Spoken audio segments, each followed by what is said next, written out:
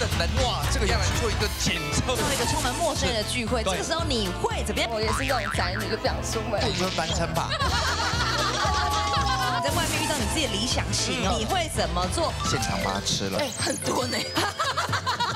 给他一个眉批，叫做煞气太强，胃饱不，肉欲超强的一个一个阶段。哎呀，难怪他最近都流连在男模会馆。